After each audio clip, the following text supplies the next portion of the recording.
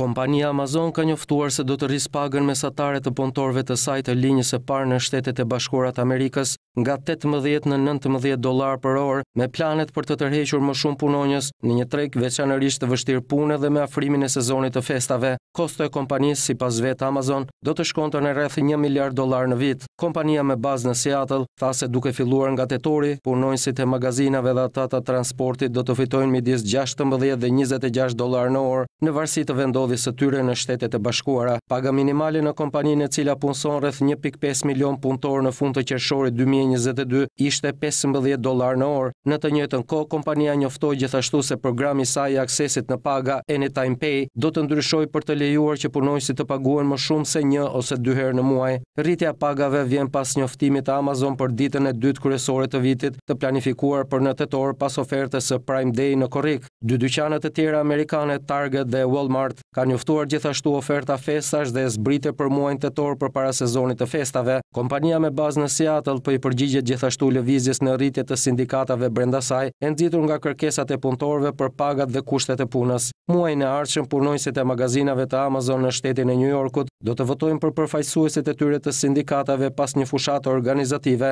të udhëhequr nga Unioni i Punës i Amazon, grupi bazë i ish-punëtorëve aktualë, të cilët arritën një fitore sindikale në një magazinë në Staten Island prillin e kaluar.